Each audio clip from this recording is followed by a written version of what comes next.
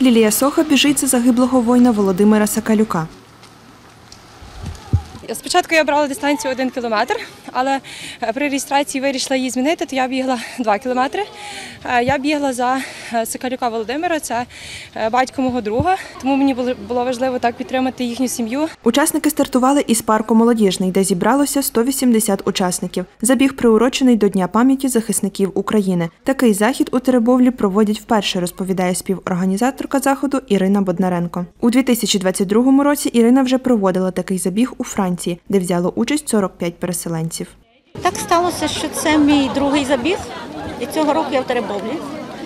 Тоді, коли я його організовувала вперше, я пообіцяла собі, що я щороку буду бігти в цьому забігу. У групі або соло, як мені вийде. Я біжу за Юрія Саманюка, за котрого, напевно, бігло дуже багато людей, бо це був хлопець. е, Знаєте, з тих, котрі перші пішли на котрі добровільно пішли в тероборону котрі вважали це своїм обов'язком.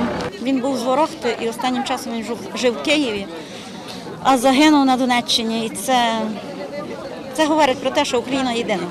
Учасники забігу обирали дистанції 1, 2 та 5 кілометрів. Організатори провели розминку за свого батька, який загинув на київському напрямку, біг шестирічний Олексій Тихоліс. До забігу приєдналась і бабуся Олексія.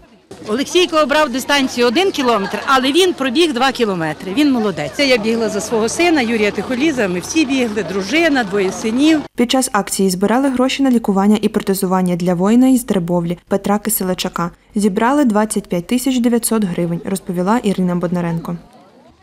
Наталія Бончук, Василь Панчук, Суспільне новини, Тернопільщина.